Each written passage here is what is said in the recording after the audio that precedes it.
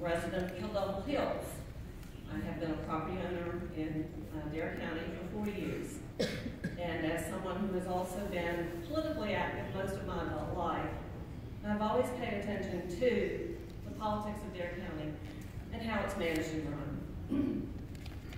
what I really want to ask you today is to consider having a woman's voice on the commission and having a voice from someone who will really listen to you.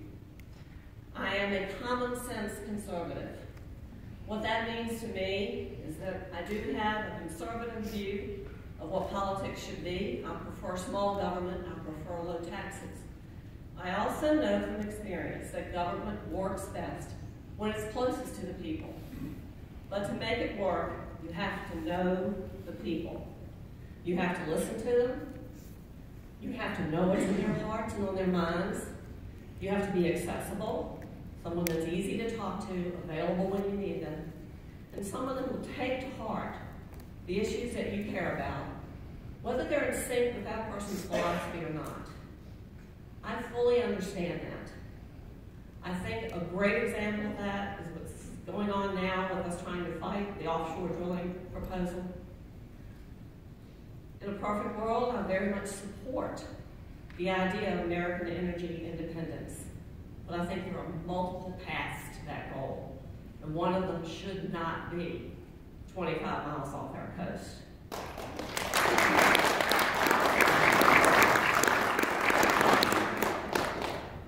I've worked for wonderful elected officials in my life, been very blessed in that way. And I've learned from each and every one of them.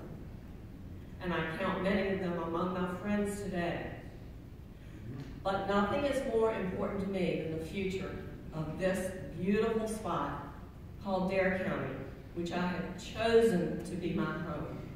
And whether you came here like I did because you loved it and you wanted to live here, or you were really blessed and you were born here, we all care about the future of this county. I promise my phone number will be public, my email will be public, and you will hear back from me. I will never be missing in action. I will never take an action that is not in the best interest of the future of this county or the feelings of the majority of its voters. And I appreciate your vote on May the 8th. Thank you.